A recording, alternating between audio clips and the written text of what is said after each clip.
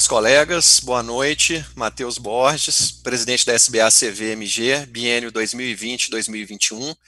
Bem-vindos aí à nossa reunião virtual, a nossa prosa vascular.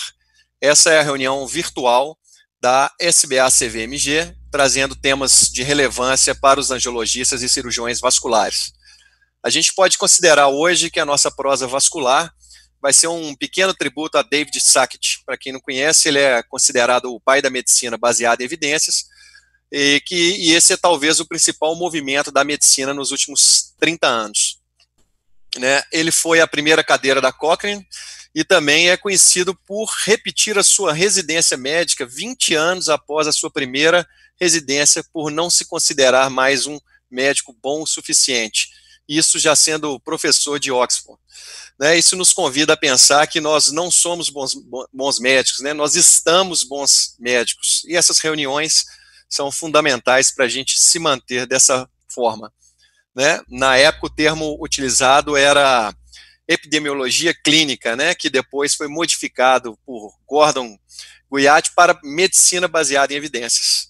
Bom, obrigado aos colegas convidados que estão aqui presentes, vão ser devidamente apresentados aí ao longo da reunião e também aqueles que estão nos acompanhando aí no YouTube, né, que vão ter a oportunidade de interagir com a gente aqui ao longo da reunião.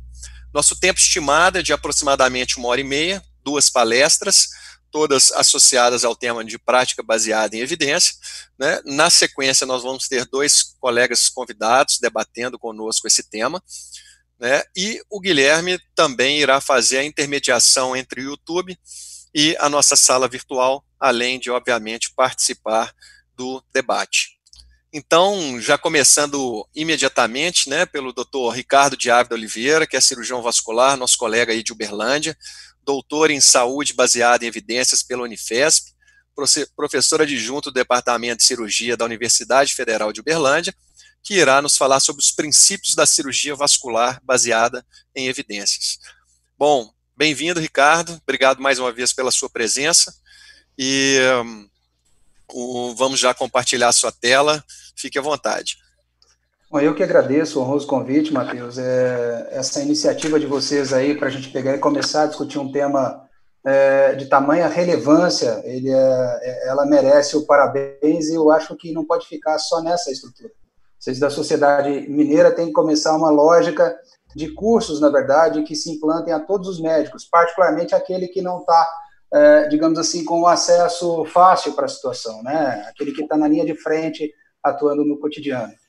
Uh, a gente está aqui em Uberlândia na ponta, na outra ponta, falando o AI também, né? Graças a Deus, juntos com vocês aí, eu declaro que não tenho nenhum conflito de interesse com o tema. E vou ficar falando próximo slide aqui, que eu não consegui falar, na verdade, o tempo todo. Próximo. Eu lembro que no grupo, aqui há, há pouco tempo, o Francesco colocou esse, essa pirâmide de evidências, né? E, e, parece que é isso que a gente tem visto, visto na, fase, na fase Covid, né? Muita anedota, muita coisa aí, na verdade, para a gente pegar e ficar divertindo, mas pouca evidência, na verdade, e um, uma, uma porção de gente sem saber para onde correr, sem saber o que fazer exatamente com a área especificamente falando. Isso leva a algumas situações, próximo slide, de preocupação. É, próximo, por favor.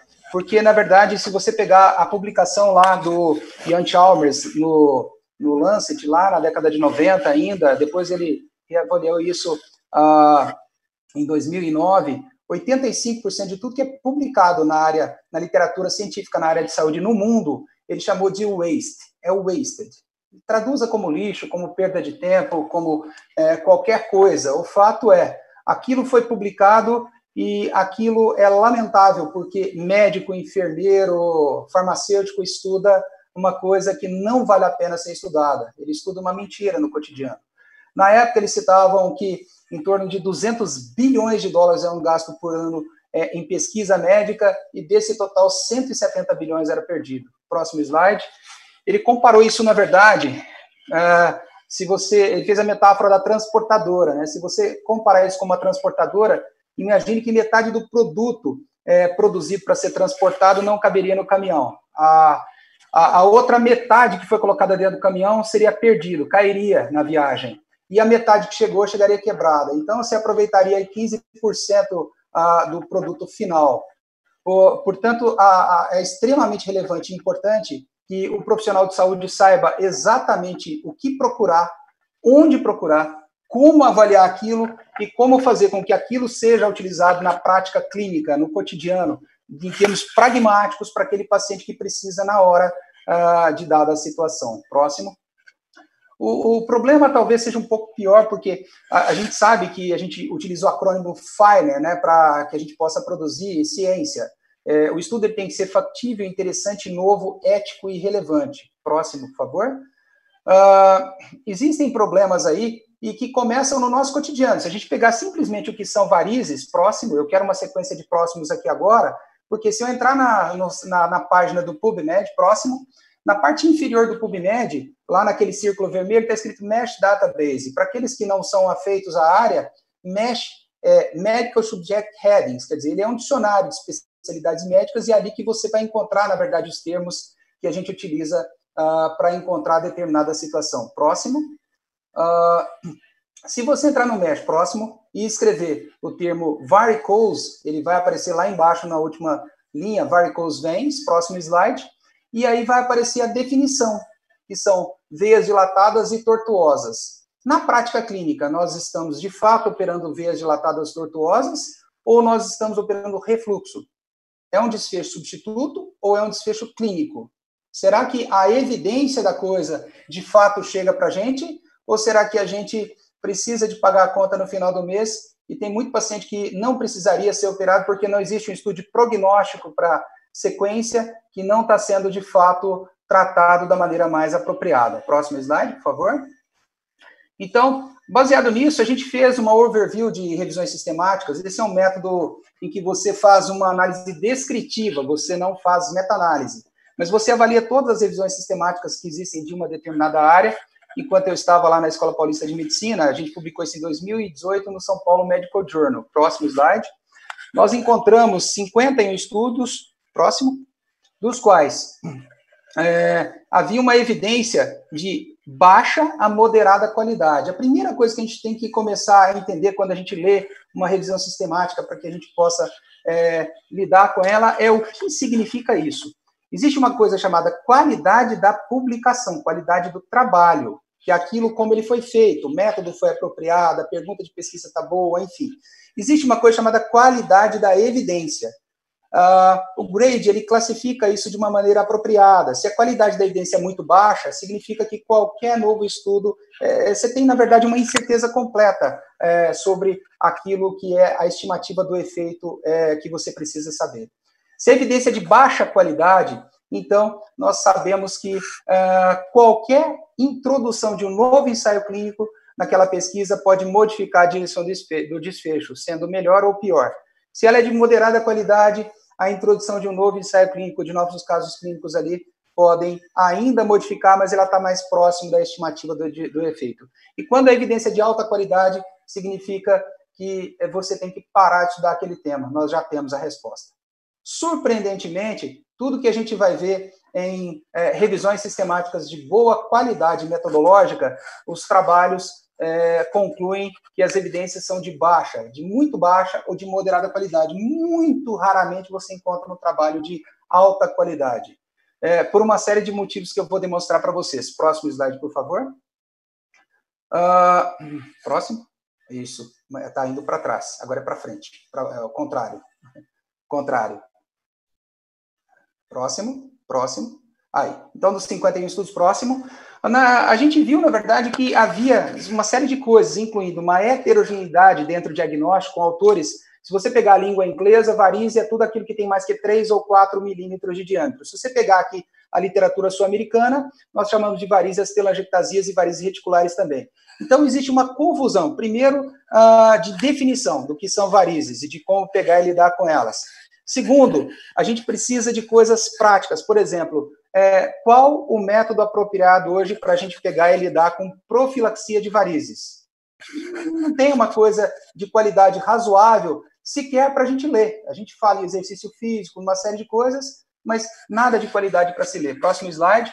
A outra coisa interessante que a gente encontrou é que os estudos de intervenções cirúrgicas, sejam de espuma, laser, cirurgia e assim por diante, eles focam em pacientes ideais, que são pacientes com varizes não complicadas, uh, veias não muito tortuosas, com limitação de diâmetro e assim por diante. Na vida prática, a gente sabe que o paciente não é assim.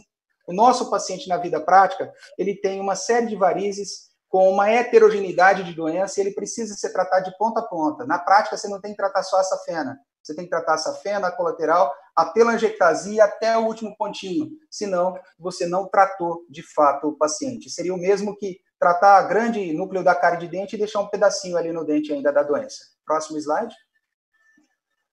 Uh, para piorar um pouco a situação, nós fizemos, aplicamos o Amstar, que é uma ferramenta de análise para ver a qualidade da publicação, aquilo que ele utilizou de fato para entender se a publicação tem boa ou qualidade ruim. Próximo slide.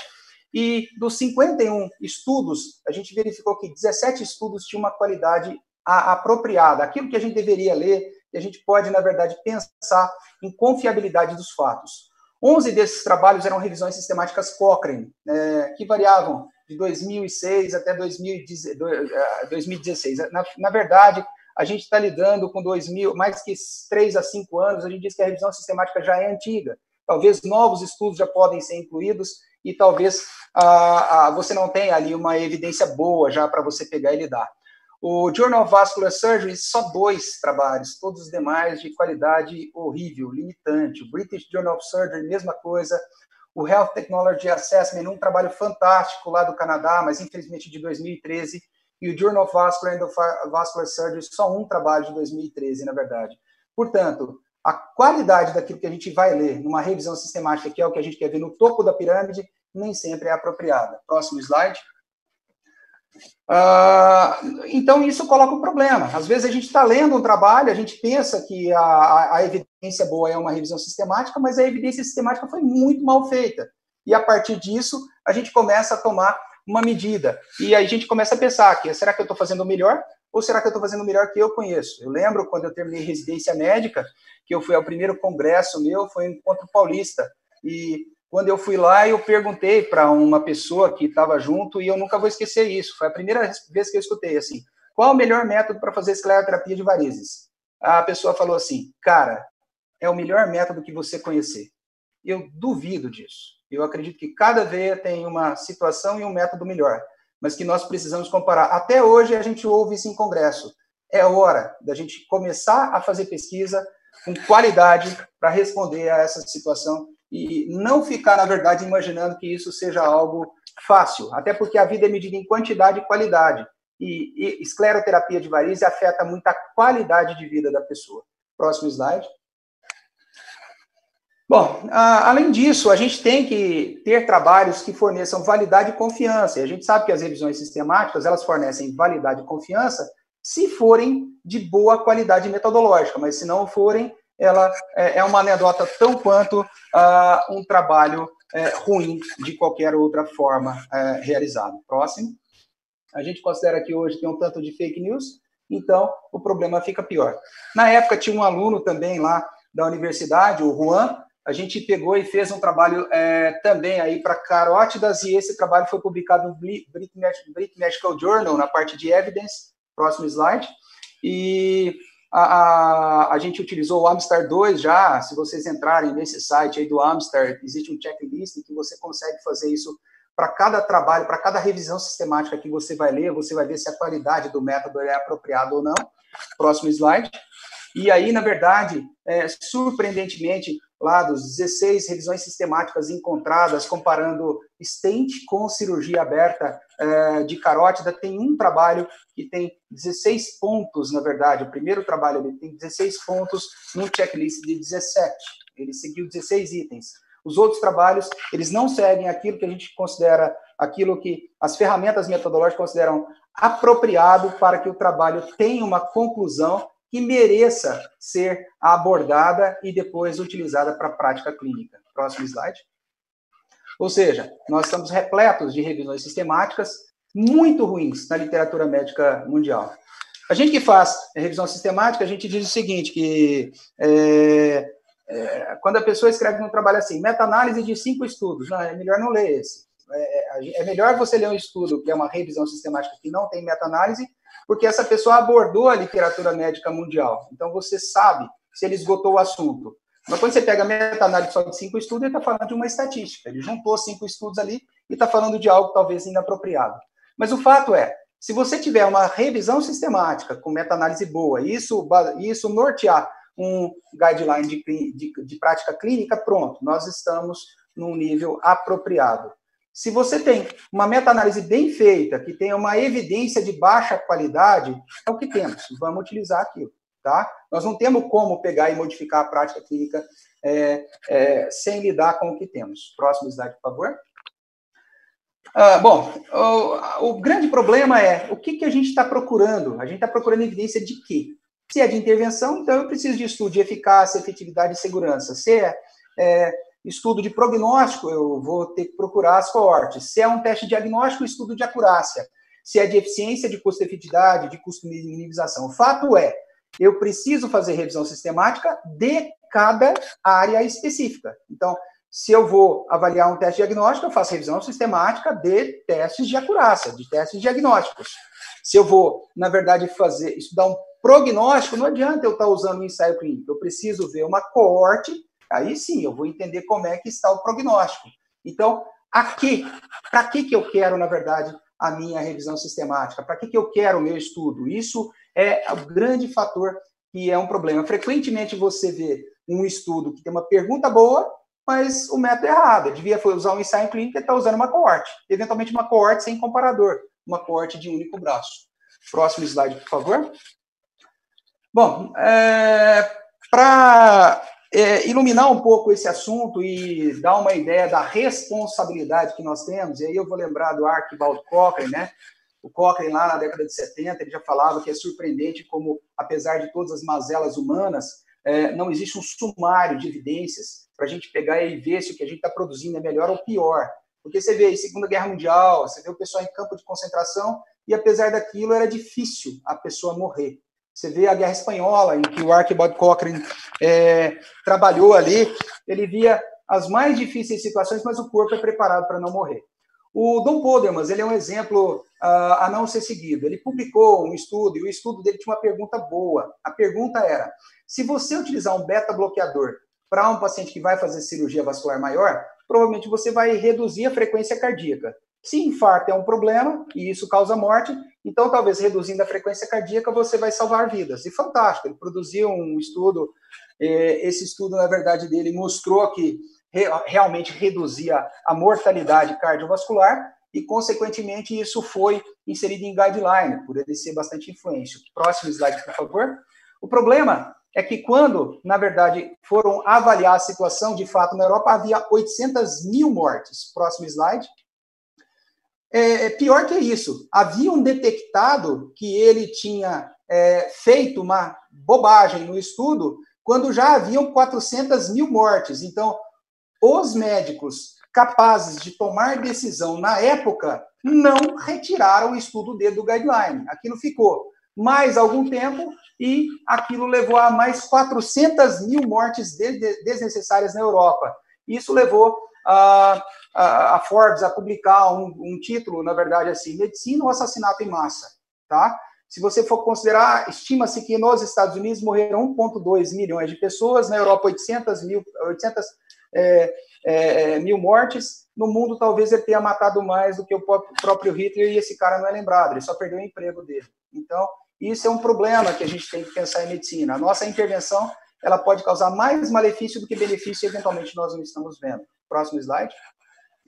Uh, o problema é, é, é, é, que um, um ensaio clínico, eventualmente, a gente precisa de reproduzir o resultado. Se o resultado não é reproduzido, é, pode ser que existia uma boa intenção do médico, mas um erro alfa ali é, pode ter nos enganado. Nem sempre isso é verdade. No caso do Dom Poder, ele tinha um conflito de interesse com a indústria farmacêutica e ele inventou dados, ele produziu dados. E, lamentavelmente, isso aconteceu. Próximo slide. Então, a pergunta, é, além disso, nós temos, na verdade, aquelas situações né, em que a estatística faz uma. dá um tapa de luva de pelica na gente. Quer dizer, se você for ver os lançamentos é, não comerciais para o espaço aí, é, eles correlacionam muito bem com os doutorados em sociologia nos Estados Unidos. Próximo slide. Existe uma correlação também entre carros japoneses vendidos e passageiros nos Estados Unidos com o número de suicídios de pessoas que pegaram o carro e colidiram com o outro, na verdade, é, simplesmente para cometer o suicídio. E a, a, estatística ela faz com que nós tenhamos, na verdade, algo que a gente acha assim, nossa, é uma coisa é porque a outra aconteceu. De jeito nenhum. Isso é mera coincidência estatística e elas eventualmente nos pregam peças também. Além disso, próximo slide, nós temos que pensar, na verdade, no viés. O viés no ensaio clínico ele pode acontecer na seleção de pacientes, ele pode acontecer no meio do caminho com o cegamento de participantes é, e de avaliadores de desfechos, ele pode avaliar na perda. Se você pegar o, a, o ensaio, a revisão sistemática da Cochrane, para pegar e falar de flebotônicos para doença vascular, é, da Cochrane, ele diz lá que pegou o trabalho da diosmina havia dropout, havia perda. No final, ele pergunta para o autor, ele escreveu um e-mail para o autor, o que aconteceram com esses participantes que foram perdidos? E não é resposta. Quer dizer, a gente aventa a hipótese, será que de fato existe um conflito de interesse com a indústria farmacêutica? Ou será que uh, não existe? A gente considera que essa perda ela deveria ter sido relatada, perdeu por isso. Não perdeu por isso, mas eu não sei por quê. Então vamos tentar fazer uma análise por intenção de tratar, vamos tentar imputar um dado para isso para que a gente possa chegar a uma conclusão. Mas no mínimo discutir por que, que o paciente foi perdido, por que, que ele não está na avaliação final dessa, dessa condição. Próximo slide, por favor. Ah, bom, a grande pergunta que tem é: dados os conflitos em que eu quero publicar, dados os conflitos da indústria farmacêutica, dados todas as situações, o que, que faz um hospital ser diferente de um campo de concentração nazista bonitinho lá desse jeito no final, né? Se um cirurgião é, é muito bom cirurgião, ele opera aí 30 casos por ano e ele tem duas mortes para uma doença grave, ele está achando que está muito bem, mas se ele operar 90 casos, são seis mortes. Se a doença mata 3%, ele está matando o dobro, que a população geral. Esse cirurgião não está causando mais mal do que bem? Próximo slide, por favor. Bom, Além disso, a estatística ainda tem, leva a gente a concluir algumas coisas. Por exemplo, aqui numa simulação de meta-análise, se você for, for, ver que todos os estudos são muito homogêneos, eles vão reproduzindo a mesma coisa, nós temos alguma tranquilidade. Mas próximo slide, por favor. Os estudos, eventualmente, eles podem trazer uma heterogeneidade. Vocês vejam que um estudo aí está de um lado e os outros estão do outro lado do, efecho, do, do desfecho. A heterogeneidade, na verdade, ela pode ser clínica, metodológica ou estatística. Tem uma coisa errada. Será que os pacientes são iguais? Será que ele usou o mesmo método? Será que há alguma coisa aí que, na verdade, aconteceu? Então, essas situações precisam ser aventadas para que a gente possa, na verdade, pegar e extrair o néctar. Eventualmente, o estudo que está fora ali é um estudo que serve a uma determinada subpopulação, e ele não poderia estar na meta-análise. Então, talvez uma análise de sensibilidade fosse melhor para esse tipo de estudo. Análise de sensibilidade é retire aquele estudo, deixe só os outros, que vão ter pacientes talvez mais parecidos, mais semelhantes, e aí talvez você possa aplicar aquilo para a sua prática clínica. Próximo slide, por favor. Bom, além disso, ainda existe o outro fator, que é o fator publicação. Quando um, quem já, já publicou um artigo sabe da dificuldade que é, sabe que você entra numa trilha e não tem não é um corredor polonês, não, é um corredor de espada, facada, motosserra, Jason, tem tudo ali no final. E, no final, o seu paper vai ser aceito ou não. É, frequentemente, você entende bastante de metodologia, mas essas pessoas que estão avaliando o teu trabalho, não, elas não entendem, de fato, nada do que acontece. Eu vou mostrar um exemplo para vocês. Próximo slide. Olha esse trabalho aqui. O trabalho é legal é, segurança e eficácia de exercício físico para pacientes com aneurisma de aorta. Está publicado no Journal of Vascular Surgery e é do Dr. Cato. Próximo slide. Ele fez uma meta-análise e essa meta-análise dele incluiu o primeiro autor ali, Myers 2010, o segundo, o terceiro autor, Myers 2014 e o último autor, Lima 2018. E ele estima um efeito. Próximo slide. O problema é que quando você pega lá essas referências bibliográficas, o 17, o 19 e o 21 são é, são as referências dos autores que eu citei. Próximo, se você for ver ali o 17, é Myers, ele é resultado preliminar de um ensaio clínico randomizado. O 19 é Myers, é o resultado do ensaio clínico randomizado. E o 21 é Myers de novo, ele está avaliando um subgrupo. Eu escrevi para o Lima. O Lima é, por acaso, professor de educação física da UNB. E ele estava fazendo pós-doc lá. Todos esses três estudos são o mesmo estudo, com os mesmos pacientes repetidos na meta-análise. Ou seja, ele está tentando desviar o efeito para uma situação. Então, na prática, esse autor não sabe o que é uma revisão, não sabe o que é uma meta-análise. E, e, ele fez isso no Journal of Vascular Surgery. Próximo slide.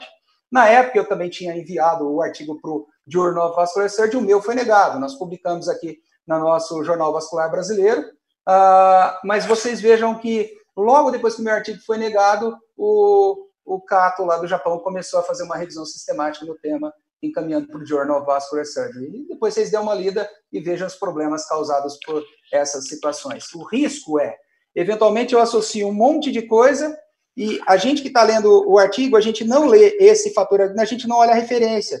E aí a gente está tendo desvio de um efeito por um lado e ninguém viu que aquilo é uma manipulação de dados que vai acontecendo junto. Próximo, por favor.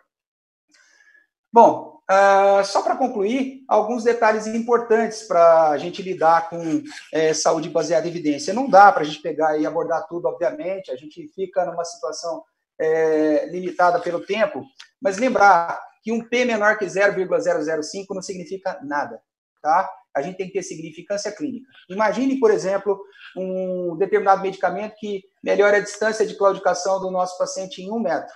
Esse paciente com um metro a mais de claudicação, não tem relevância clínica.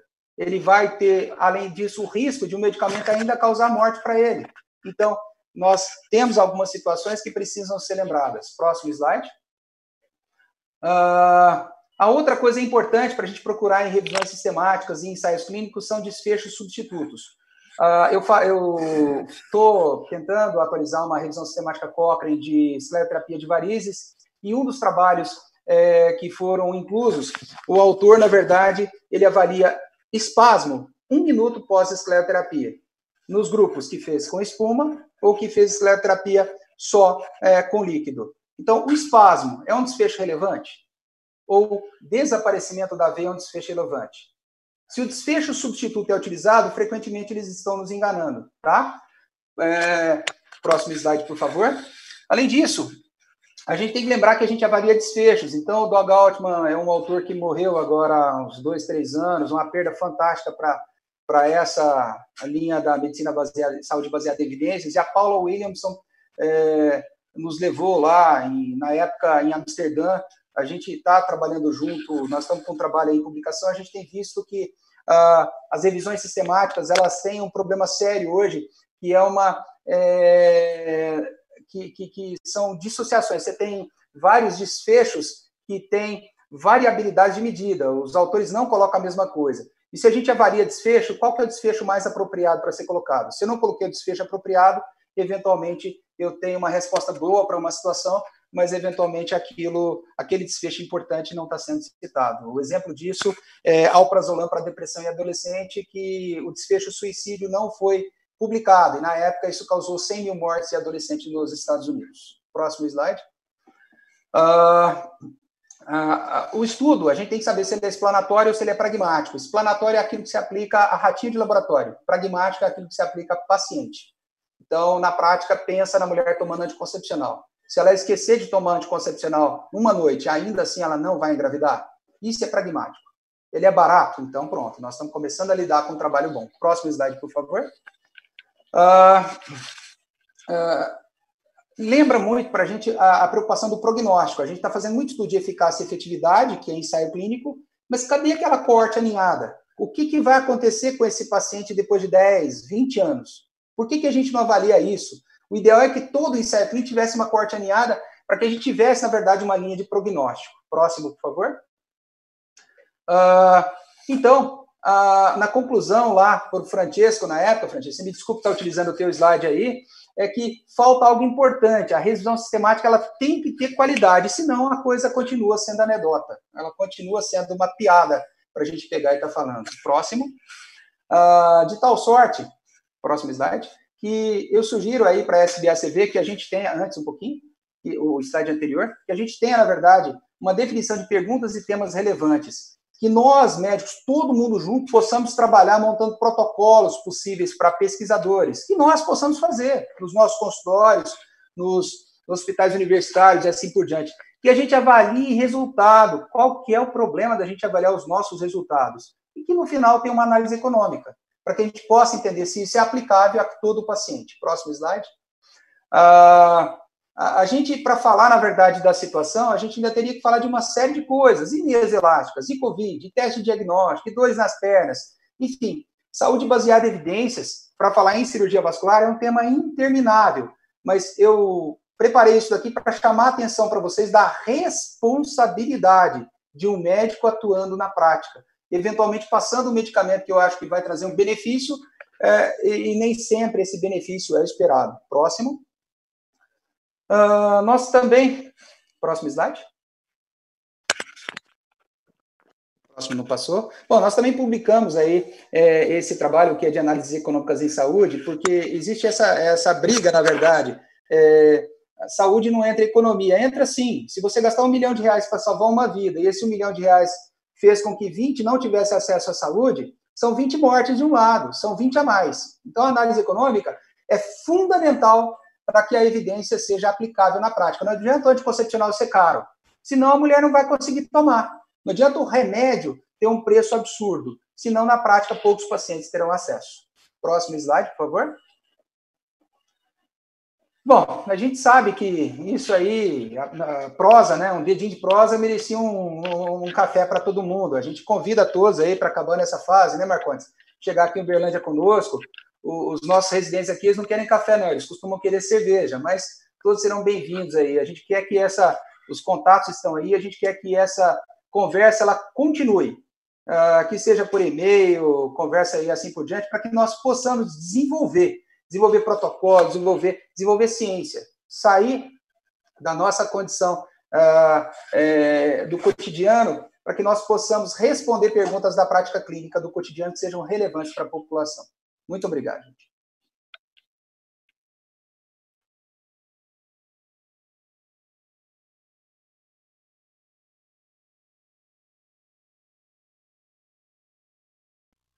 Obrigado você, Ricardo. Chamou realmente atenção para pontos muito interessantes que eu tenho certeza que vão ser bastante comentados e debatidos no final. Queria agradecer agora e, e a presença do Dr. Ronald Flumian, que é cirurgião vascular, professor adjunto da disciplina de cirurgia vascular e endovascular e orientador do programa de pós-graduação em saúde baseada em evidências da Escola Paulista de Medicina. Ronald, não é a sua primeira vez em Minas, né?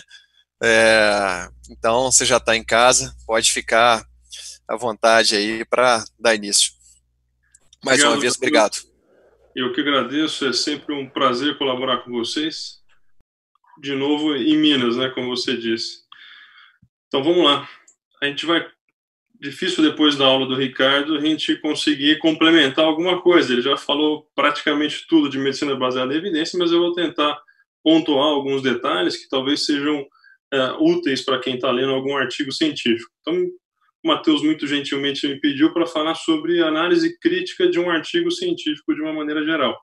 Vou tentar trazer isso mais próximo da nossa realidade, tá bem? Não tenho conflito de interesse com essa aula, como o Ricardo, também um grande amigo, já é, comentou muito bem na aula dele, a gente sempre começa uh, a leitura de qualquer artigo, pensamento clínico, com uma pergunta adequada. E a gente precisa ter desenhos adequados para responder cada pergunta. Ele já mencionou isso, para uma pergunta de diagnóstico, um teste de acurácia, enfim. Mas o que todas essas perguntas têm em comum? Todas elas se pautam pela melhor evidência disponível ser uma revisão sistemática de estudos primários adequados. Então, a revisão sistemática ainda é. A medicina hoje é baseada em evidência. Se a gente não fala em medicina baseada em evidência, você está fazendo qualquer coisa menos a medicina atual. Eu comparo a medicina baseada em evidência atual com um indivíduo que fala que não acredita em vacina em tempo de Covid. Então, você falar que não gosta de medicina baseada em evidência hoje em dia é a mesma coisa que falar que não gosta de vacina no meio da pandemia de Covid. É algo mais ou menos parecido. E como começou a medicina baseada em evidência? Talvez um dos primeiros, se não o primeiro, a primeira maneira de estratificar a evidência são esses níveis de evidência da Oxford, que junto com a McMaster estabeleceram os princípios da, da MBE, né, da medicina baseada em evidência. Reparem vocês que o principal nível, ou o nível mais alto, a melhor evidência disponível seria, então, revisões sistemáticas de estudos primários. Então vamos focar aqui na terapêutica, na intervenção, seja ela para prevenção ou para tratamento. Então o estudo primário ideal seria um ensaio clínico randomizado. Só cuidado com essa armadilha, porque a gente ouve muito falar em ensaio randomizado e talvez você pode achar que ensaio randomizado preenche ou responde todas as suas perguntas, isso não é verdade. Reparem que para uma pergunta de diagnóstico, por exemplo, o estudo primário ideal é uma coorte, nada nada parecido com um estudo randomizado. Eu não vou falar aqui das ferramentas de risco de viés, como o Ricardo comentou, porque tem inúmeras ferramentas de risco de viés para cada tipo de, eh, de estudo primário, mas talvez essas ferramentas de relato de estudo sejam mais interessantes na prática, para quem está lendo e para quem está tentando publicar um artigo. Elas foram criadas para quem vai publicar qualquer artigo. Então, reparem que essa, esse site Equator, ele é um site de acesso livre, e ele junta aqui, ele compila uma série de guidelines de acordo com o desenho de estudo. Então, se você quer publicar um ensaio randomizado, deveria usar o consorte, enfim, e aí por diante, né? É uma série de, de detalhes para guiar. Isso deu tão certo que uh, a gente, o meio científico extrapolou esse uso e utiliza esses guidelines para avaliação por peer, ou pelo menos recomenda que os peer, os pares, uh, utilizem isso como um método para avaliar o manuscrito e, eventualmente, até para quem está lendo, para saber se aquele artigo está seguindo o mínimo que se deve uh, para responder ou para publicar algo de útil para quem está lendo. É claro que são detalhes, uh, vamos se pautar para o melhor nível de evidência, que seria a revisão sistemática. Então, só para lembrar, o Ricardo já comentou, medicina baseada em evidência não é sinônimo de revisão sistemática. Não é nenhum demérito aos outros uh, desenhos de estudo, muito pelo contrário, ela só está colocando cada desenho de estudo no seu devido lugar. Então, se a gente não tem uma revisão sistemática disponível para responder uma pergunta, vamos buscar um estudo primário, um ensaio randomizado. Ah, não tem nenhum para responder essa pergunta. Então, vamos responder com uma coorte, uma série de casos, enfim. Você vai descendo o degrau da escada à medida que não, não se encontra nada melhor, né? Então, é, o Prisma é um dos guidelines para, primeiro, talvez, para revisão sistemática. Ele esse fluxograma é clássico, né, para quem está lendo o artigo, enfim, você se baseia aqui no início na, na, sua busca, na identificação de estudos primários, você relata o que não foi relevante para a sua revisão, uh, o que foi excluído, motivo de inclusão, exclusão, como qualquer estudo clínico. E no final, uh, a sua análise qualitativa ou quantitativa. Ricardo comentou alguma coisa a respeito disso, mas só para deixar claro que revisão sistemática não é sinônimo de meta-análise Revisão sistemática é todo o processo de busca de melhor evidência disponível, de melhor estudo que preencha os seus critérios. Meta-análise é simplesmente análise estatística, que muitas vezes não é possível fazer numa revisão sistemática. Então, por isso que ela só entra aqui na análise quantitativa, quando isso é possível de ser feito. Como qualquer outro tipo de estudo clínico, uma revisão sistemática também precisa ser registrada, ou é recomendável que ela seja registrada, que eh, seja pensada no, no projeto desse, desse trabalho prospectivamente.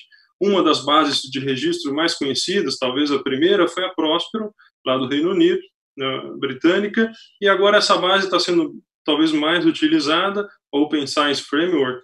Todas elas são livres, você consegue registrar uh, sem nenhum custo, enfim, qualquer pessoa consegue registrar no mundo, mas essa segunda base, Open Science, é mais uh, utilizada atualmente porque é muito mais rápida, muito mais prática, você consegue registrar de tudo, não só revisão sistemática, mas coorte, você está fazendo uma coorte, por exemplo, de Covid no seu serviço de vascular aí, é, e gostaria de planejar isso aí, deixar registrado que você começou o seu trabalho, talvez seja um bom start para isso.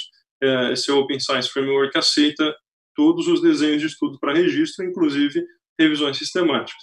E a principal vantagem é que ela é mais rápida. Ela te responde em 24, 48 horas, está registrado o seu trabalho, e enquanto a Próspero demora às vezes 3, 4 meses, porque depende de um outro ser humano lá avaliar e registrar isso para você. E como já foi bem pontuado, o método é o principal. Quando a gente fala isso para o aluno de pós-graduação, ele te olha meio torto, né? Fala, o resultado não te interessa tanto. O que interessa é o método. Se você fez um método bem adequado, se você está lendo um artigo que tem um método adequado, o resultado é só uma consequência. Então, a gente não deve buscar o artigo direto no resultado, mas começar pelo método. Né?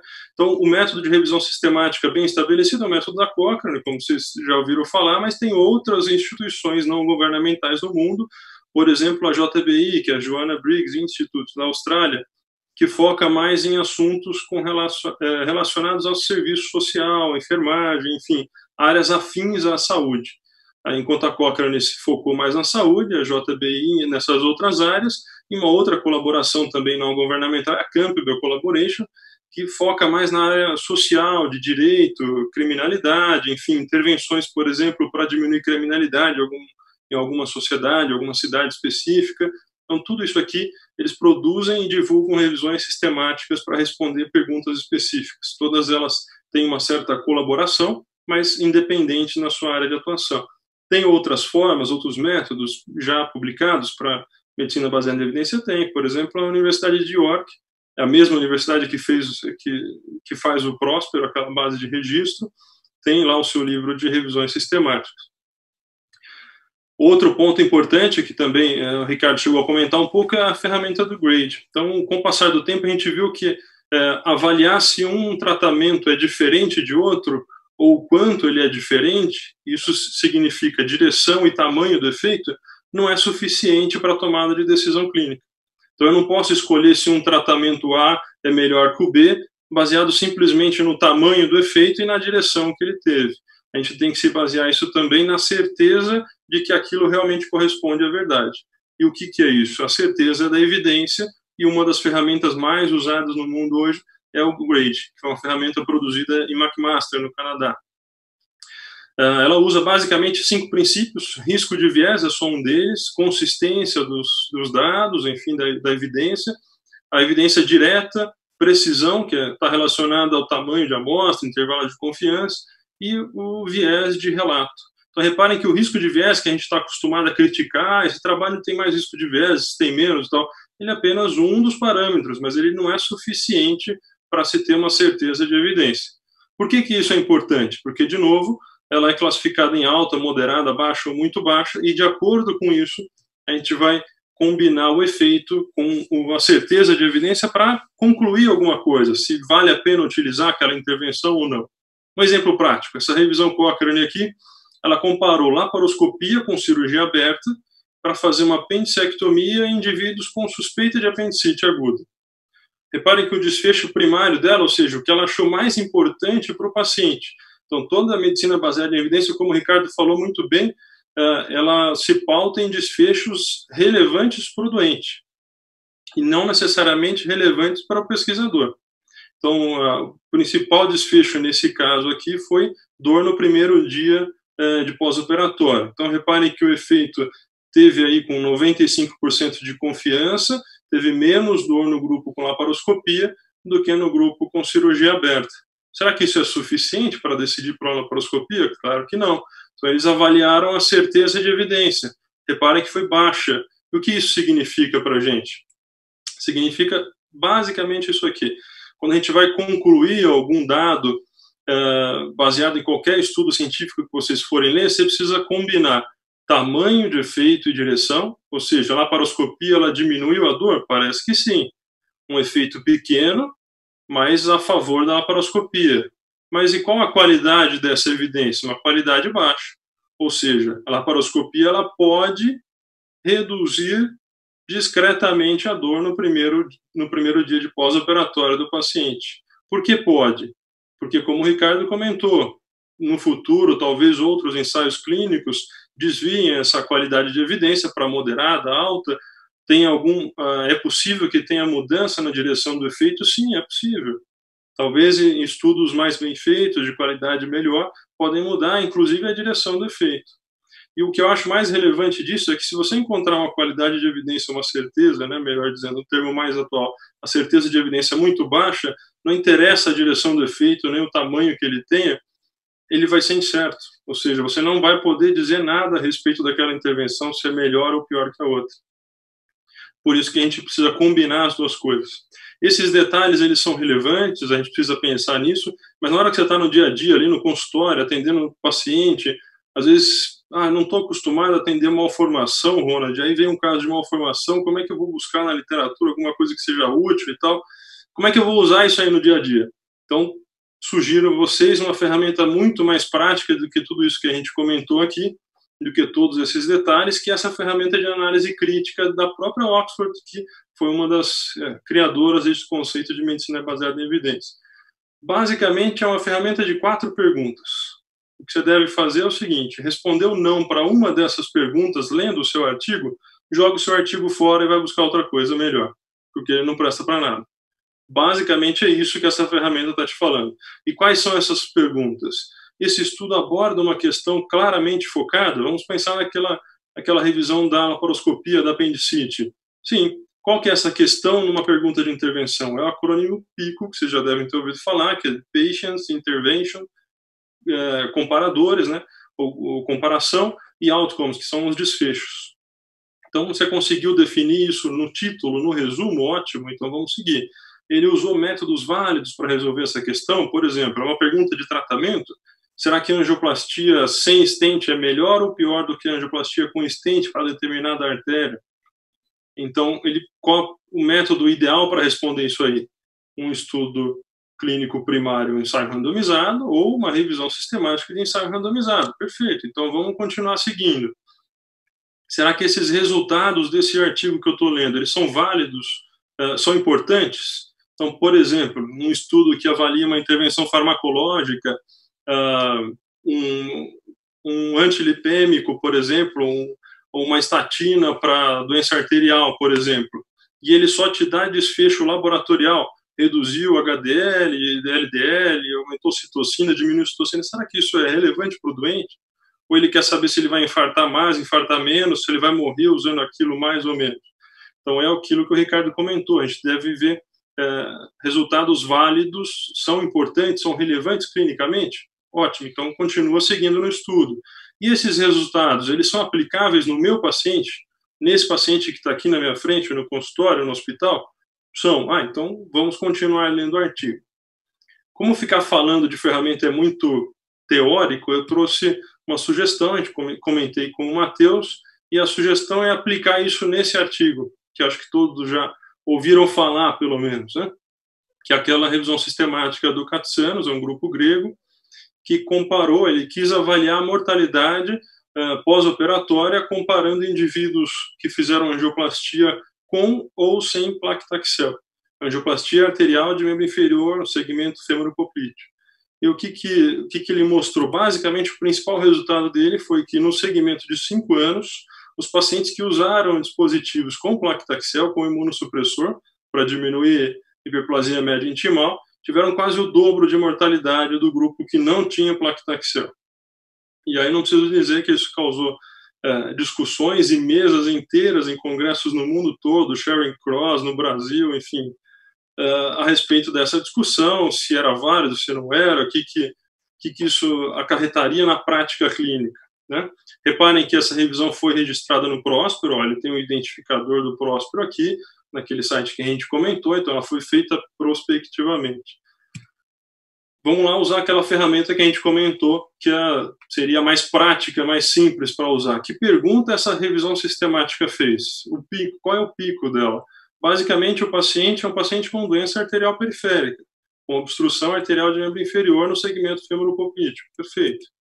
Qual a intervenção de interesse da revisão? Ele quer comparar angioplastia, tanto faz se usou estente ou só balão, mas um grupo usou dispositivo impregnado com imunossupressor, com plaquetaxel, e o outro grupo não usou dispositivo nenhum impregnado com plaquetaxel.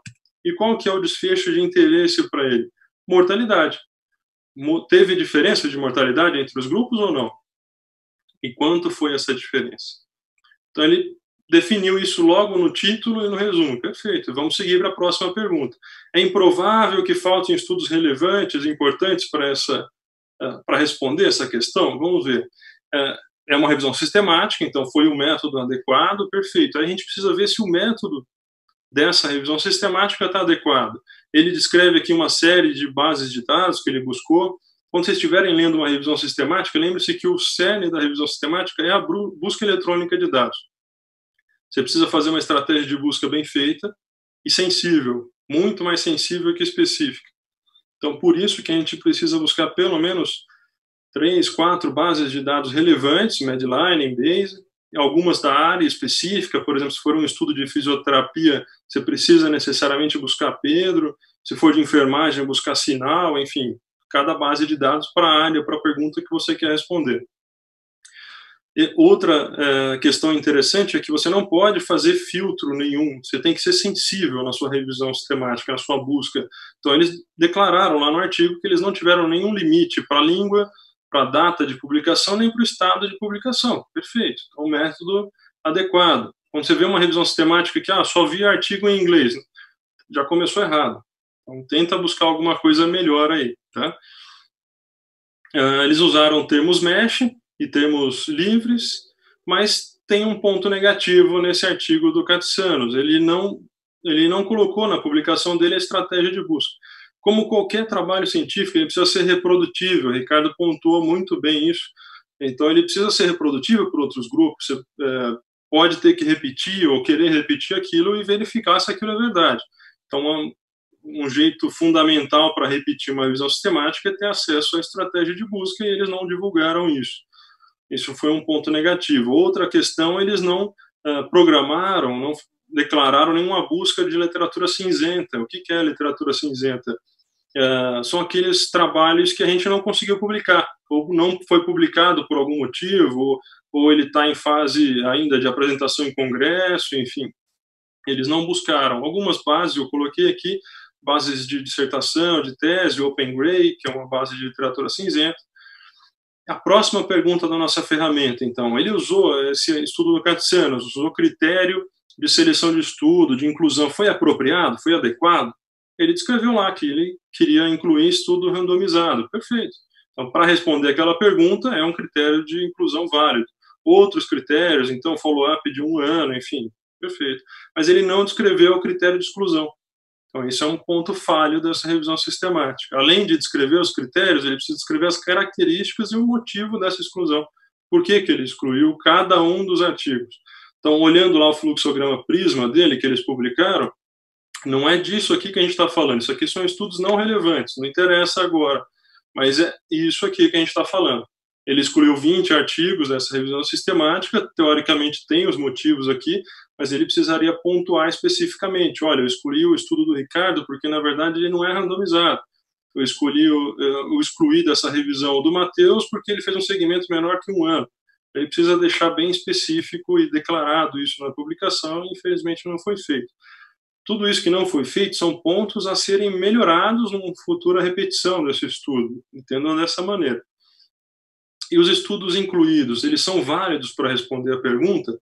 A gente vai ver de novo o método. Ele, teoricamente, falou que usou a ferramenta de risco de viés da Cochrane, que é a ferramenta mais usada para ver risco de viés em estudo clínico inicial, que é essa, esses quadradinhos coloridos aqui. O verde entendo como baixo risco de viés, o vermelho um alto risco de viés e o amarelo, quando ele não tem informação a respeito, ele classifica como incerto. São sete parâmetros que estão aqui, e cada um desses parâmetros, como sequência de randomização, mascaramento, enfim, isso aí deve ser avaliado de acordo com cada estudo incluído na revisão. E aí a gente parte para a é, heterogeneidade, que na verdade é a semelhança de um estudo para o outro, é o que o Ricardo comentou, é a semelhança clínica e estatística é, de cada um dos estudos. Ele usou efeito randômico para analisar, mas faltou um ponto que pode ser melhorado, que faltou os dados individuais. Revisão sistemática compilada, como essa aí, ela é muito válida, muito útil, a gente vai ver as, o impacto disso daqui a pouco, mas ela pode ser melhorada com revisões de dados individuais.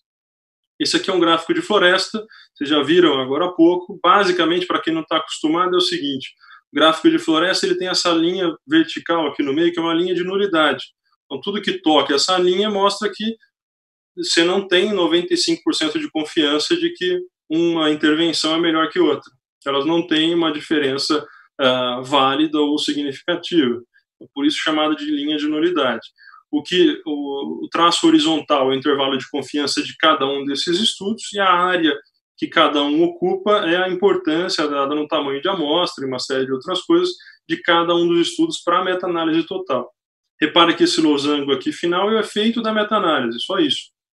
Intervalo de confiança na horizontal, tamanho a posição do, do vertical é o tamanho do efeito aqui.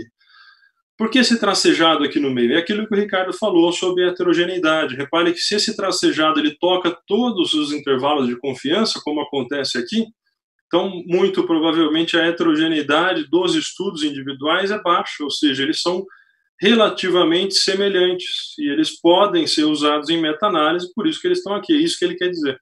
Tanto é que ele fez análise estatística e encontrou um enquadrado, que é um teste de heterogeneidade, de zero, ou seja, tem 0% de diferença, vamos dizer grosseiramente assim, não é isso, mas ele tem 0% de heterogeneidade, ou seja, de diferença estatística entre os dados aqui.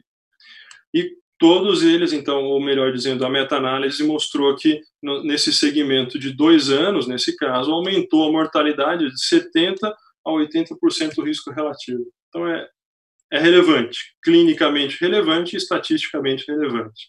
Então, ele, de novo, qual o melhor nível de evidência para a gente responder aquela pergunta se aumenta ou diminui a mortalidade usando Taxiel? Uma revisão sistemática de ensaio randomizado, que foi o que esse indivíduo tentou fazer aqui, com um aumento de quase o dobro. Qual o impacto disso? Baseado nessa revisão sistemática, simplesmente o FDA lançou uma nota dois ou três meses depois disso, recomendando não a retirada do dispositivo, mas recomendando que os médicos pensassem duas vezes antes de usar o dispositivo com plaquetaxel, dado o aumento de mortalidade.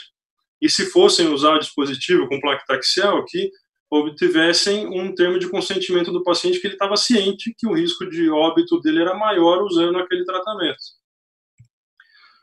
Mais que isso, o FDA tentou melhorar aquela revisão sistemática. E aí, os próprios uh, autores lá do FDA tentaram buscar os acessos que eles tiveram de dados individuais, lembra que eu comentei, e fizeram essa meta-análise, não é uma revisão sistemática, então tem alguns pontos a serem melhorados, eh, de dados individuais. E, de novo, mostrou um risco absoluto de quase 5% a mais de óbito no, grupo que usou o Plactaxel. Então, o que eu quero falar para vocês é o seguinte: a gente tem que sempre buscar a melhor evidência disponível para responder a pergunta ou para tomar uma decisão clínica e não é, partir para a opinião de especialista, como a gente está vendo aqui. Isso aqui é um congresso nacional, onde o indivíduo é, fez uma mesa para discutir essa questão, e a pergunta final do palestrante era: qual a opinião de vocês, da plateia? Vocês acreditam na estatística desse trabalho ou não? E aí, é claro que a mensagem é: não, não devemos tentar responder uma pergunta com opinião de especialista se a gente já tem ensaio randomizado, já tem revisão sistemática tentando responder aquela pergunta. Você tem que se pautar pelo que tem de melhor, não o contrário, não mais fácil, como o Ricardo comentou. E qual a aderência das revistas, enfim, do meio científico internacional? Repare que o Jornal Vascular Americano, ele coloca lá nas instruções dos autores para a gente consultar o Equator, se quiser mandar algum artigo para lá. Basicamente é o seguinte, se você quiser publicar com a gente, dá uma lida no Equator, senão vai ser devolvido para você antes de ir para o PIR. Ah, mas eu quero publicar no JAMA, porque o impacto dele é o maior de cirurgia do mundo. Ótimo, está lá o Equator de novo. Não, Ronald, eu vou publicar aqui no São Paulo Medical Journal. Como o Ricardo comentou, e publicou os artigos dele. De novo, você tem que seguir o Equator e os guidelines de como relatar o seu artigo, enfim, e formatar inform e, e divulgar informações mínimas sobre o que você fez. Em resumo, se vocês quiserem guardar uma coisa dessa aula, para analisar criticamente o artigo, guardem essa ferramenta da Oxford. Respondeu não para uma dessas perguntas, joga o artigo fora e pega outro. Basicamente é: será que eu estou usando a melhor evidência disponível? Será que isso é o que eu tenho de melhor para oferecer para o meu paciente? Se for isso, então pode ter certeza que está indo no caminho certo. Muito obrigado. Obrigado você, Ronald. Muito, muito boa aula, muito clara, muito, muito lúcida, né? Aliás, ambas as aulas.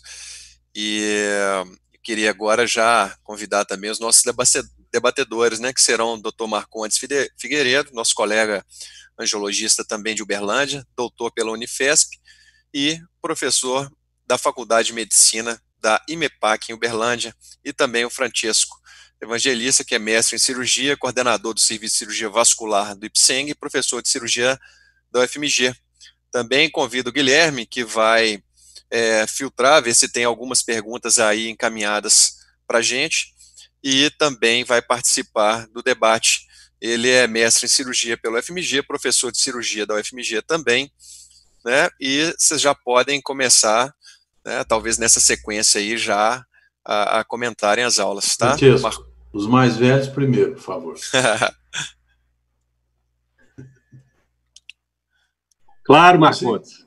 É o seguinte, é uma mesa de alto nível, né? As duas palestras realmente surpreenderam muito. É, a gente esperava de isso desses profissionais, né? E é, a gente tem que sempre na cabeça que medicina baseada em evidência é terapêutico.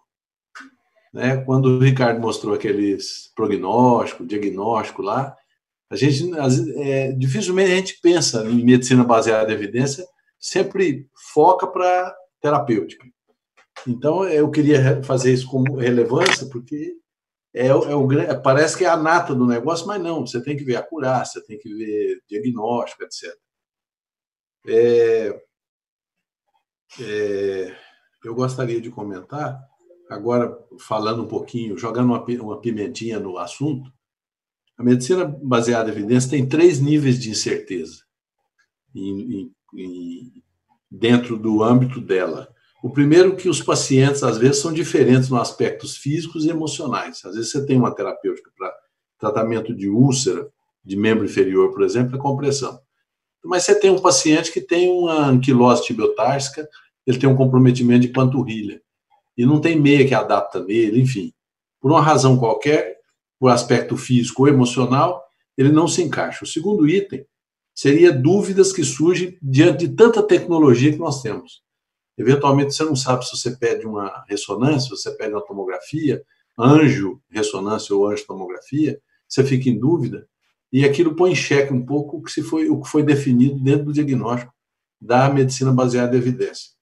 E, por último, a postura do médico, que você tem que ver também a habilidade a vivência clínica dele, a sensibilidade dele em relação ao paciente.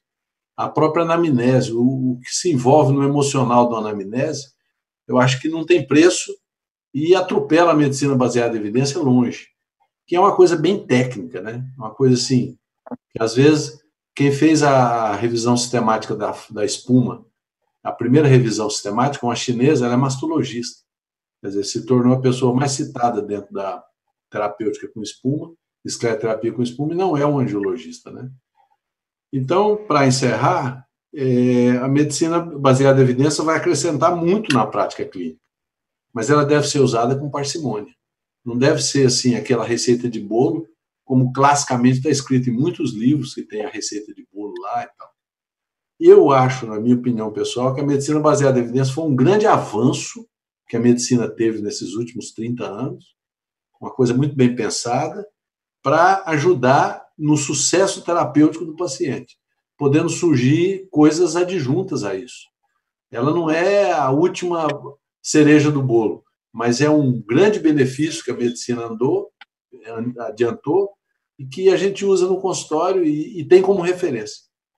Parabéns novamente para os palestrantes. E eu queria que o Fluminha mandasse para mim a referência daquele estudo, o último que você citou. Eu fui fotografar, você passou o slide rápido. Depois você. É do Circulation agora desse ano, 2020. É, manda para mim que eu gosto de ter essas referências para você ter base para ler. E só para encerrar, uma sugestão para o Matheus, que tem sido brilhante como presidente, as palestras deles estão bem escolhidas e tal, e essa carona que ele pegou no Covid tá dando um ibope danado, né? Porque se, não, se fosse em Belo Horizonte, isso aí não teria 50 médicos na sala, com certeza. A gente consegue juntar aqui 200, 300 médicos, né?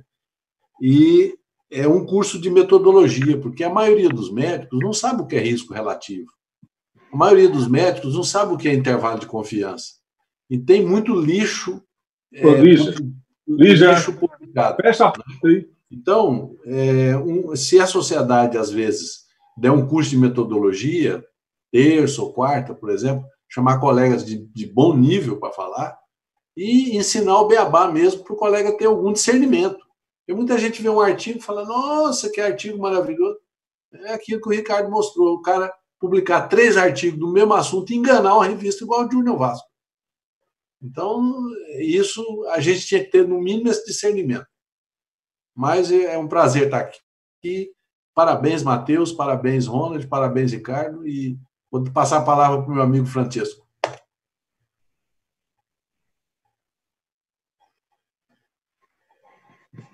Muito obrigado, Marcontes, pela gentileza. É, eu estou. Primeiro, parabenizar o excelente nível de informação técnica que os professores Ricardo Ávila e o Ronald trouxeram, né? Eles, eles são vinculados. O, o, Ricardo fez o doutorado lá nesse, na, no programa de saúde baseado em evidências da Unifesp. O Ronald é professor lá, já orientador, já com vários alunos em orientação. Então, são pessoas que conhecem profundamente o tema e que trouxeram e abrilhantaram essa noite hoje da SBACB com essas, todas essas informações. Eu acho que a saúde baseada em evidências assim, é um caminho um pouco árduo. Né? Você vê que uh, o rigor da metodologia é, é preciso que, que, a gente tenha uma experiência grande uh, e leia bastante a respeito dos princípios metodológicos da saúde baseada em evidência para que se possa entender como é que é, é construído a, a, como é que é construído o nível de evidência em medicina e o que deve nortear o nosso, como, como nós devemos nortear a nossa conduta é, na cirurgia vascular. É exatamente isso que eu gostaria de entrar para ser, para ter uma agora para trazer uma discussão mais prática para a gente mesmo. Olha, Durante a epidemia aí do Covid-19, a gente nós somos testemunhas aqui nos grupos da SBACV de Minas Gerais, né, dessa intensa discussão que tomou conta das redes sociais sobre a utilização de intervenções as mais variadas possíveis e sem a devida comprovação da sua eficácia, da sua efetividade e da sua segurança, né? Muita gente defende a posição de que em situações de urgência como essa que nós vivemos, de emergência, são situações excepcionais, de exceção, a medicina deveria abrir mão desse rigor metodológico e indicar terapias que ainda não foram submetidas a esse rigoroso escrutínio preconizado pela medicina baseada em evidências. Mas nós descobrimos as fragilidades dessa defesa, né, principalmente no uso da hidroxicloroquina. A pergunta é: e na cirurgia vascular? Como é que a gente pode trazer isso para a cirurgia vascular? Olha, a nossa especialidade, como nós já sabemos, já há alguns anos, desde o advento da cirurgia endovascular, nós temos vivido o desafio da introdução das novas intervenções. Né? Para adotar essas diversas intervenções, que a cada ano é são propostas para nós, cirurgiões vasculares, qual é que deve ser o nosso norte? Né?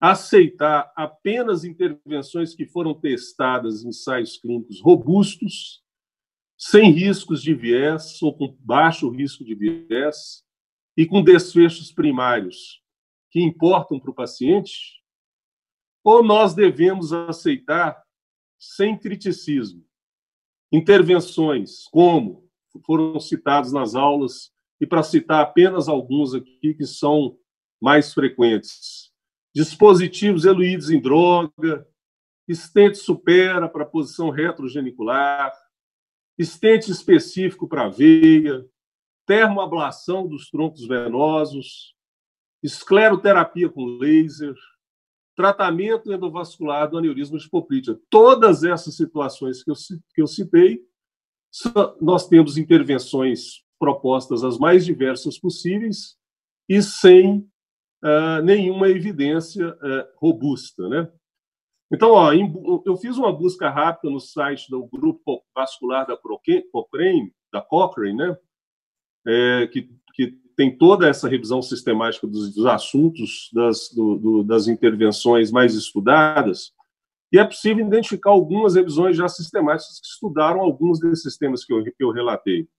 E o resultado, ela, muitos deles contrariam a visão hegemônica, essa visão que a gente tem propagado em congressos, em simpósios e em cursos que divulgam essas intervenções como superiores e recomendam a sua utilização. Então, a pergunta que eu quero abrir agora, caros colegas, e o professor Ricardo e o professor Ronald, é essa pergunta. Qual é o nível de evidência que devemos ter antes de adotar essas intervenções na nossa prática e solicitar às operadoras de saúde autorização para, para utilização desses dispositivos. Se não tem disponível nenhum ensaio clínico e nenhuma meta-análise ainda, nós devemos ter uma posição mais, mais cuidadosa e aguardar que sejam realizados esses estudos? Ou nós vamos nos contentar com estudos observacionais, estudos de caso controle, registro ou, às vezes, apenas mera opinião de especialistas? É a, é a pergunta que eu gostaria de abrir essa discussão. Muito obrigado. Obrigado, Marcondes e, e, e Francisco.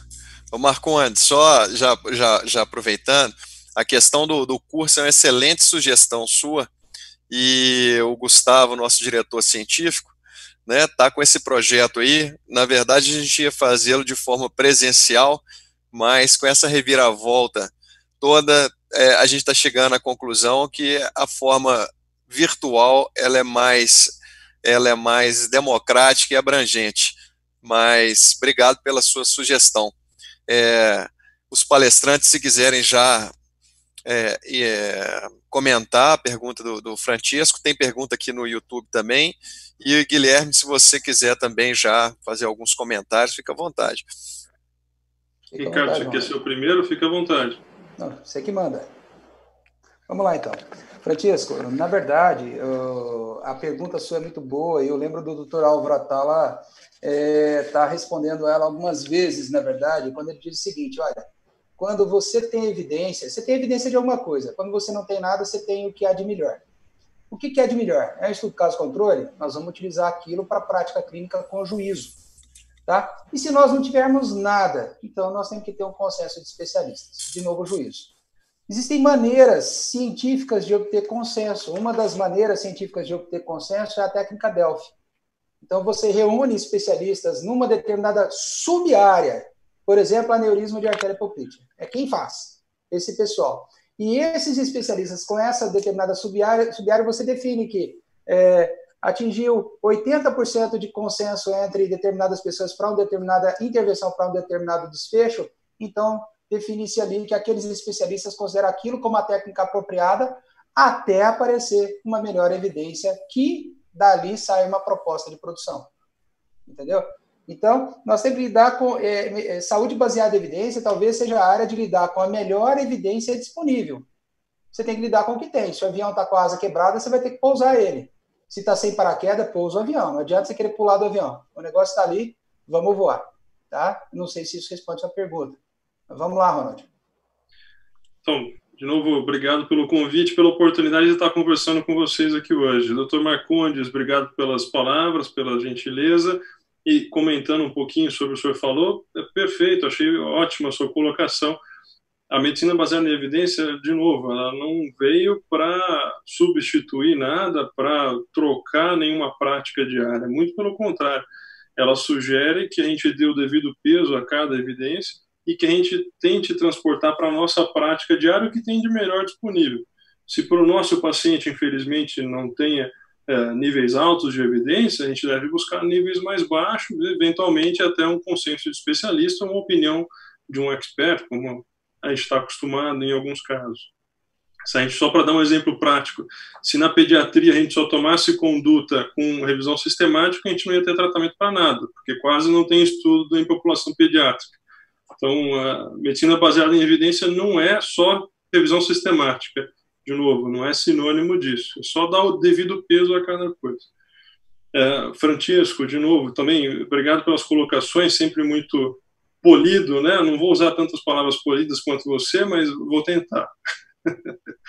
uh, de novo, como você comentou, acho que a gente não, não deve esperar estudos de revisão sistemática de ensaio randomizado para poder tomar a decisão. O paciente está na nossa frente, a gente precisa decidir o que vai fazer com ele ou não. É claro que é permitido e é aceitável você tomar a decisão baseada no que tem de melhor. Se o que tem de melhor é uma série de casos, vamos lá. Vou te dar um exemplo prático. Uma paciente minha que eu acompanhava há uns oito anos já, ela precisava usar anticoagulante por vários episódios de trombose, embolia, enfim, usava um anticoagulante direto oral por muito tempo. Ela foi ficando muito idosa, 90 aninhos e tal, problemas neurológicos que diminuíram a função dela, sarcopênica, e aí ela teve dois episódios de hematoma espontâneo, ruptura de fibra muscular por sarcopenia, e fez hematoma de membro inferior em uso de xarelto. Fiz operar uma vez para drenar esse hematoma, infectou, enfim. Não tem nenhuma evidência de alta qualidade, nem nada que fala como lidar com isso, pelo menos eu não me recordo, me corrijam se eu estiver errado.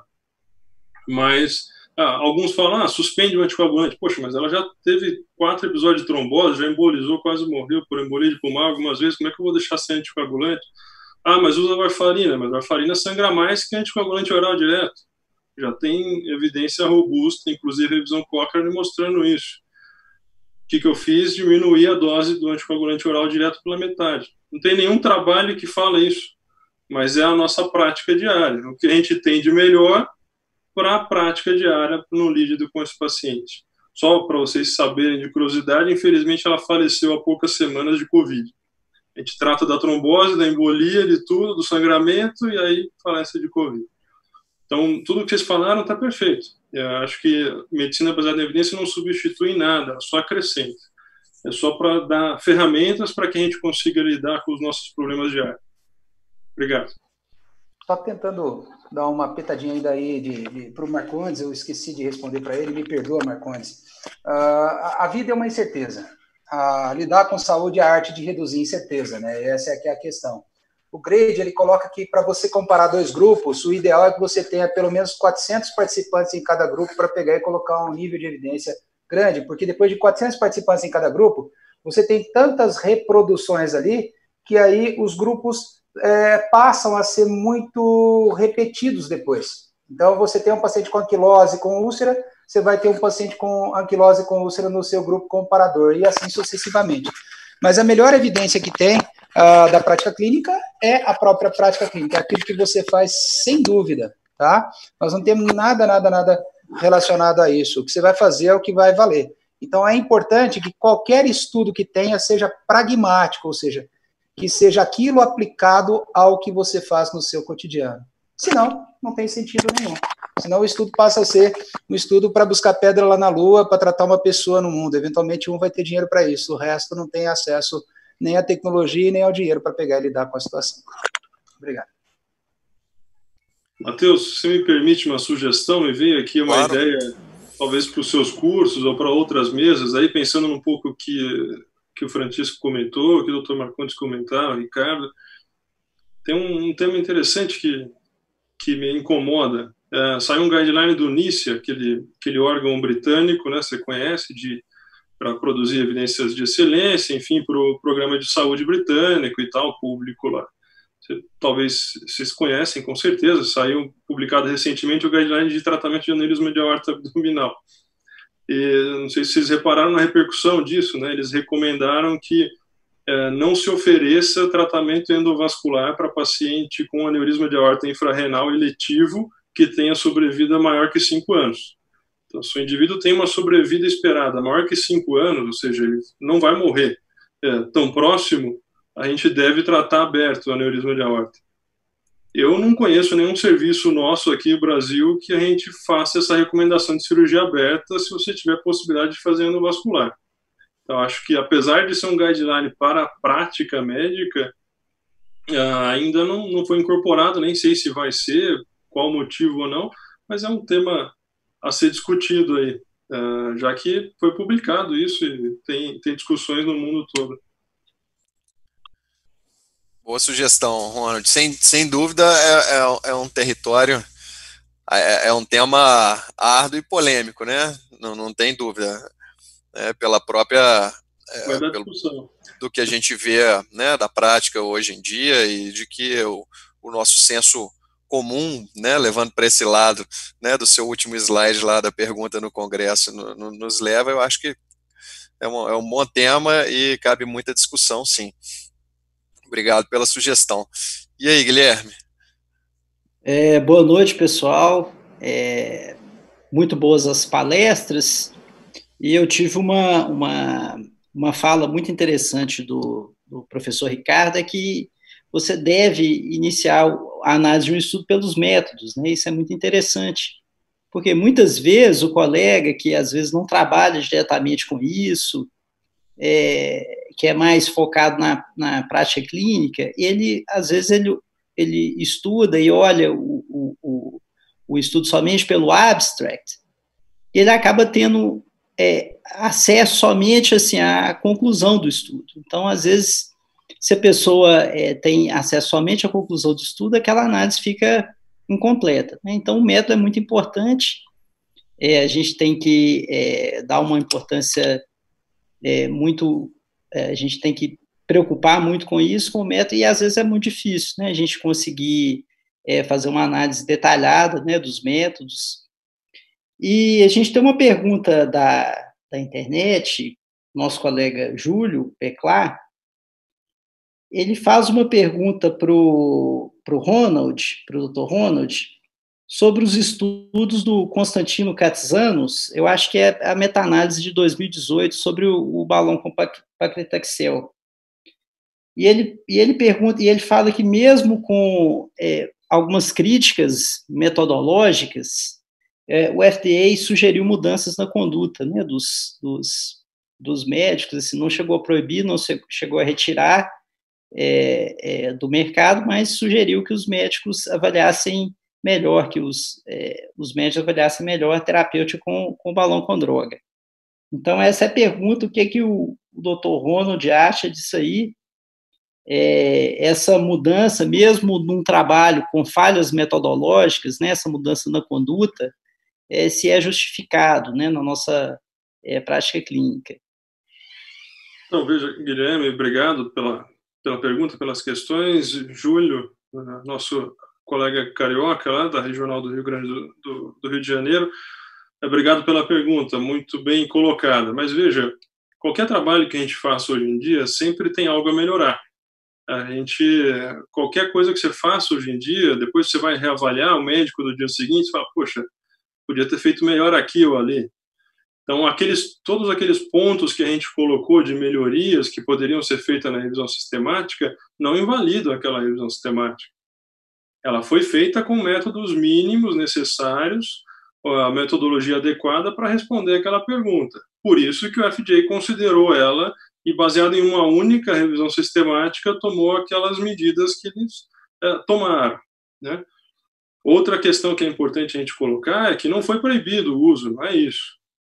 É, você pode continuar usando. Ah, tem gente que veio, tem, tinha trabalho em andamento aqui na escola, tinha um ensaio clínico é, internacional em andamento usando estente com droga, e vieram me perguntar, poxa, vamos ter que parar o estudo? Não, muito pelo contrário. Aí que você tem que continuar o estudo, de preferência com qualidade melhor, para aumentar a certeza de evidência, ver se realmente aquilo lá, aquela direção de efeito é válido ou não, se aquilo vai mudar ou não, ou se vai dar mais corpo de evidência para aquele resultado. Então a gente tem que sempre tentar melhorar. Agora, o que não dá é para negar uma revisão sistemática de ensaio randomizado com opinião de especialista ou com série de casos, mesmo que a série de casos tenha 20 mil casos, 30 mil casos. Desculpa, mas não é, não é compatível. A gente não pode comparar laranja com banana, entendeu? Você tem que comparar coisas comparáveis. Por isso que eu coloquei o exemplo do Circulation, que eles tentaram melhorar aquela revisão sistemática, perderam uma oportunidade, se me permitem a humilde opinião, de fazer algo mais robusto. Então, poderiam, por exemplo, ter avaliado a certeza de evidência com grade, que nenhuma das duas fez. É, eles perderam uma grande oportunidade de ter feito isso só um dos exemplos, né? Mas a gente tem que sempre tentar melhorar. Outra questão desse, desse artigo que o pessoal comenta muito é a causalidade, né? Será que o Plactaxel foi que causou o óbito mesmo ou não? Uh, eles fizeram várias análises lá, pesquisas epidemiológicas, enfim, sobre isso ou não. E o que a gente tem é, são fatos. Uh, pelo que uh, esses, esses últimos trabalhos mostraram, parece que realmente aumenta a mortalidade. Agora, o que a gente tem que trabalhar é estudar mais o assunto e ver se realmente isso está certo, se muda a direção de efeito e por que, que aumenta a mortalidade.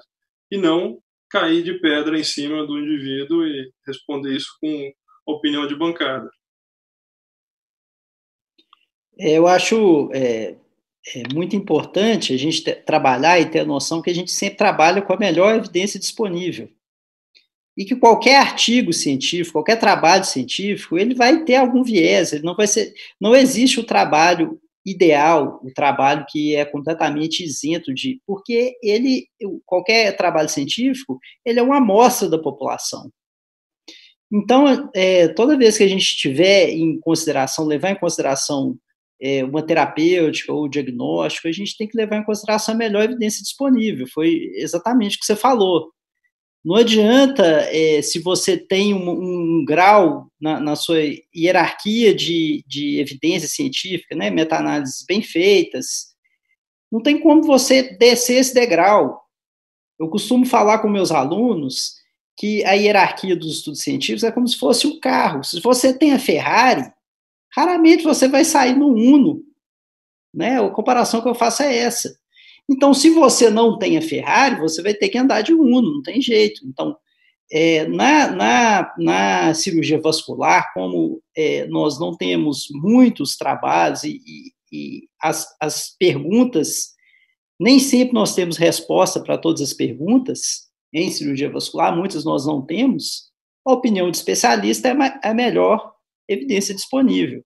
Então, em alguns casos, né, como foi o seu caso aí da paciente idosa, é, é, com, precisando tomar, precisando ser anticoagulada e, e, com episódio de sangramento é a mesma coisa. Eu trabalho com acesso para hemodiálise. Uma fístula trombosada, que você faz a trombectomia, você anticoagula ou não? Depois, né? Nós não temos essa resposta. É uma pergunta que nós não temos a resposta. Então, é a opinião do especialista. No congresso, ou ou nas aulas eu pergunto, vejo que meus colegas fazem, por quê? Eu não tenho um trabalho que me responda isso. Né? Isso mesmo, Guilherme. Mais que isso, eu, eu encaro assim uh, uh, momentos de, de tensão ou de, de problemas, cenários problemáticos como oportunidades de melhoria. Eu acho que se a vascular não tem tantos trabalhos de boa qualidade, eu acho ótimo que são oportunidades para nós, como o Ricardo falou, para todos os grupos, a sociedade, produzir trabalho de qualidade. Então, são oportunidades para a gente melhorar isso aí e tentar preencher essas lacunas. Oh, é, eu queria fazer uma pergunta, Ronald, Ricardo, Marcondes, Francisco, Guilherme, com relação é, é, a Big Data, Machine Learning, rede neural, como que vocês é, encaram isso nessa dinâmica da prática baseada em evidências? Né, que são, a princípio, né, um volume muito grande de dados, não pré-selecionados, por exemplo, né, e aí você põe isso para rodar e ver se vai o que vai, vai ser predito, por exemplo, né, como, como que vocês veem essa interface? Bom, já que ninguém... Sim, Ronald. Responde aí. Já que ninguém vai para a fogueira, vamos lá. Muito maldosa a sua pergunta, hein, Matheus? Eu tô brincando. Mas vamos lá. Uh, essa questão de Big Data, Machine Learning, está em voga atualmente, o pessoal está usando, e aí vem à tona uma outra discussão, né? Medicina baseada em evidência e aquele dados de mundo real.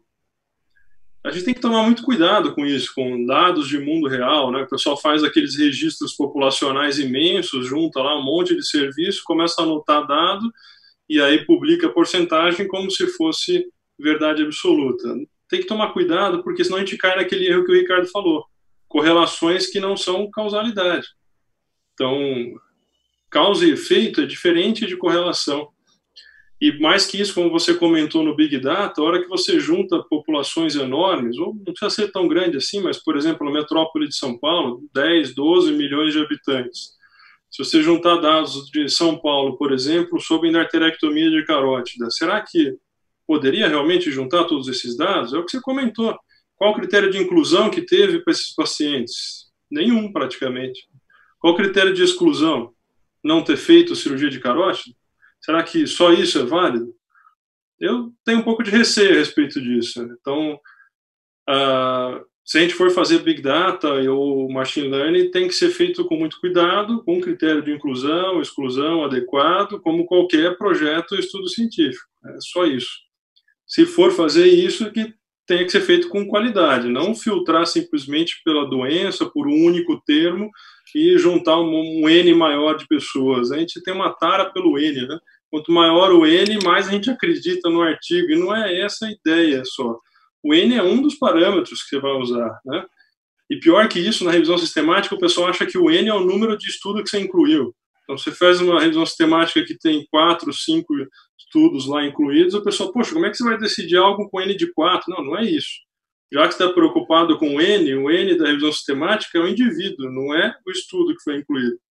Então, são os 2 mil pacientes, 3 mil pacientes da revisão sistemática, não os 3, 4 estudos que foram incluídos tem que tomar cuidado e acho que o ceticismo talvez seja uh, um caminho mais adequado para pensar sobre isso.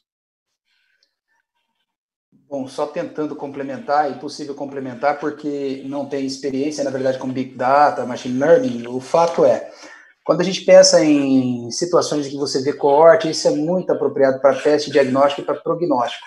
Talvez isso seja uma coisa mais, uh, digamos assim, mais fácil de você pegar e trabalhar.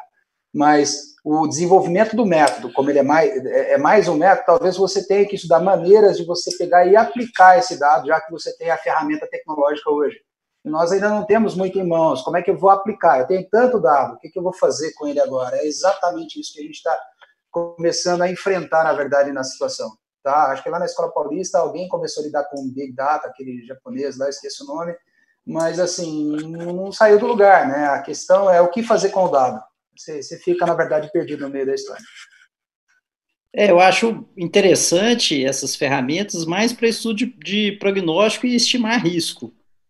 Né? Não assim, para terapêutica, eu não sei assim, se a gente teria segurança para usar agora, mas eu acho uma ferramenta muito interessante né? para a gente é, avaliar a história, história natural das doenças, acho interessante, e, e, e prognóstico de, e, e a questão de estimar risco. Só concordo com você, Guilherme, mas só cuidado que Big Data não significa coorte prospectiva. É um estudo transversal gigante que, basicamente, pior que um transversal, não teve critério de inclusão nem exclusão. Então tem que tomar muito cuidado com isso. Só aumentou o N. Beleza. Alguém gostaria de completar? Eu, eu, eu acho interessante essa, esse debate sobre o Big Data, porque algum tempo atrás eu estava lendo algum livro de filosofia de ciência e um dos filósofos que, estão, que se debruçam sobre é, é, o, que, que, o que, que o Big Data vai trazer em termos de conhecimento científico, e ele comenta lá, um professor de Oxford, né, de filosofia da ciência, que a força da correlação é, que o Big Data pode trazer, ela é tão grande na visão dele, né, que ele que isso é, que, que levanta relações aparentemente insuspeitas vão aparecer mas ele é otimista, né? Ele acha que essas relações insuspeitas para as quais a gente não tem nenhuma resposta aparente são verdadeiras, que a força da estatística é tão grande que, uh, que o conhecimento vem primeiro, né? A, a, relação, a correlação estatística vem primeiro do que o conhecimento subjacente àquela correlação, sabe? Ele, ele termina falando um aforismo interessante, que durante muitos anos ele falou que o grande intérprete da sociedade, dos fenômenos, foi o filósofo, que a partir da Big Data, o grande intérprete seria o estatístico, né? O matemático. o estatístico matemático. A gente vai tiraria do filósofo a condição do grande intérprete da sociedade e passaria para o matemático estatístico. É só uma curiosidade. Né? Eu, eu, só terminando, eu queria fazer uma homenagem aqui ao professor Ronald, que eu fui aluno dele lá no, no curso de doutorado lá da, da, do, da, sociedade, da, da saúde baseada em evidências, lembrando de uma questão que numa das aulas dele que ele levantou e que eu guardo comigo aqui, um insight interessante, porque nós, na verdade, nós discutimos é, revisão sistemática, meta-análise, ensaio clínico randomizado e tal. Isso tudo são disposições é, propositivas, elas não são disposições normativas. Na verdade, quem, quem propõe a conduta, quem sugere o que o médico deve fazer são os guidelines. Né? Então, você faz lá o grade de uma revisão sistemática e mostra qual que é a certeza da evidência. Você não está propondo nada. Né? Você está mostrando, através da, da, da, da, ferramenta, da revisão sistemática, o atual nível de conhecimento com os trabalhos que nós temos mostra aquilo, mas quem propõe, a, a quem vai propor se aquilo vai ser aplicado é, são os guidelines. Então tem um, um, salto aí entre uma coisa e outra. Às vezes ele é direto, mas às vezes esse salto é intermediado por, por valores dos pacientes, por custo de intervenção, etc. Uma série de outras coisas são levadas em consideração. Obrigado, Francisco, pela gentileza. Que bom que alguma coisa das bobagens que eu falei lá guardou, né? que bom, fico feliz. É, e é exatamente isso. A revisão sistemática ela te dá o que tem de melhor de evidência. A tomada de decisão é do indivíduo, é da, do político de saúde, enfim, da instituição, do governo e de quem vai tomar a decisão clínica a respeito disso. Baseado não só na evidência, mas como Dr. Marcondes falou, na experiência social e cultural da população, no aspecto socioeconômico. Não adianta a gente falar de EVA num país africano que não tem condição de sanitária mínima. Não é essa a preocupação, não vai ser aplicado naquela sociedade. E é isso que o Francisco falou agora, que quem vai dar essa aplicabilidade é o guideline, que vai considerar custo, aspecto social, econômico, enfim, cultural da população e da, de onde ele vai ser aplicado. Perfeita a colocação. Só um detalhe aqui, uh, complementando, Matheus, uh, você falou do Big Data, eu ainda quero uh, botar um pinguim aqui, um parênteses. Como eu estou tentando atualizar a revisão sistemática de escleroterapia da Cochrane, eu vi todos os que têm trabalhos aí, tem três, três ensaios clínicos no Brasil, um do Marcondes, um do Erasmo e um do Cazu. Uh, para o que eu quero, na verdade, do Marcondes e do Erasmo são estudos que, que vão para exclusão, né? É, o que eu estou querendo dizer é, a gente produz muito pouco, mas muito pouco estudo primário, e nós temos toda a mão, toda a mão de obra e o paciente aqui para pegar e lidar num país dessa grandeza. Nós precisamos fazer mais, utilizar as sociedades para isso. Beleza, Ricardo, excelente. Bom, é, só como tiveram vários elogios aqui ah, no, no, no chat do YouTube a todos vocês, alguns falando que foi o tema mais importante do ano, né, que foi uma excelente aula, parabéns para vocês aí, palestrantes, debatedores, intermediador. E o Marcondes deu a sugestão hoje, mas ele já havia me feito essa sugestão já há algum tempo, né? E realmente é um projeto nosso, né? O nosso diretor científico Gustavo Murta também tem vontade de, de, de realizar esse curso e a gente ia fazê-lo, como eu disse, de forma presencial e agora é, essa pandemia também nos deu a, a, a oportunidade de refletir sobre isso e, e da importância e do aspecto inclusivo que é essa questão virtual, né? Vai ser muito mais abrangente. Então, mais uma vez, Ricardo, Ronald, Marcondes, Francisco, Guilherme, muito obrigado pela excelente reunião. Nós, ela vai continuar disponível no, no, no YouTube, né? Se alguém perdeu e quiser assistir posteriormente. E espero que todos nós tenhamos uma ótima semana e fiquem bem. Se alguém quiser acrescentar algo, fique à vontade, a hora é essa. Ô, Flu, Ronald, eu mandei para você o e-mail, tá? Você mandar o artigo. Tá bem, vou mandar. Obrigado, pessoal. Boa noite. Boa noite. Até Tchau, a próxima. Boa noite, até a próxima. Eu agradeço. Boa noite a todos. Boa noite a todos. Obrigado.